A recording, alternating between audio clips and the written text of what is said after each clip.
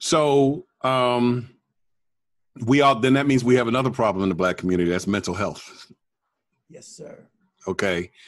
Is that a majority of what you think you come across? I mean, in the prison system, and as far as some a lot of the cases that you come across, that there are a lot of un, unaddressed uh, mental health issues that ultimately cause people not to care.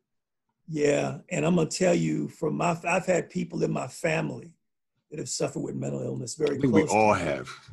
and I'm gonna tell you, brother, what was told to me growing up every time you someone was mentally challenged in some way. We, we got this old wives' tale in the black community.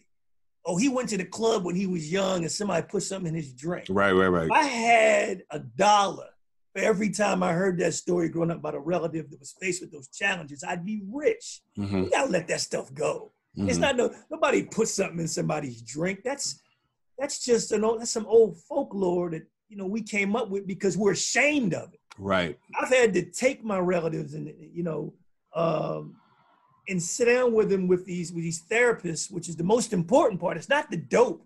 Everybody thinks it's the dope that that, you know gets people back. You know, I'm talking about the medications they give you that they give everyone. You've got to have aggressive one-on-one therapy.